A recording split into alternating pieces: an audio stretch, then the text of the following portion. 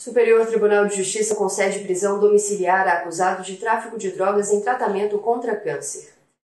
O homem foi preso em maio e o Tribunal de Justiça de São Paulo havia negado o habeas corpus impetrado pela defesa.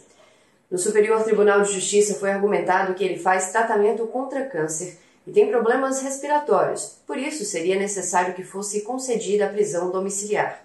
O pedido foi analisado pelo presidente do STJ, ministro João Otávio de Noronha, que considerou que o caso se enquadra nas hipóteses previstas em recente recomendação do Conselho Nacional de Justiça. O documento prevê a flexibilização de prisões devido ao risco de contágio do novo coronavírus dentro dos presídios.